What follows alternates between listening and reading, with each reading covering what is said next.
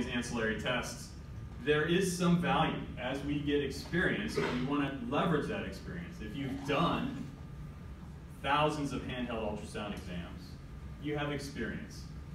You can listen to thousands of parts, but you're not able to share that. You're not able to necessarily quantify the value of that the same way you might with handheld ultrasound. Um, and so you can give some leverage to experience. As we get experience, we actually may be more valuable to uh, the health system and to the hospital than right out of training because we actually are learning on the job.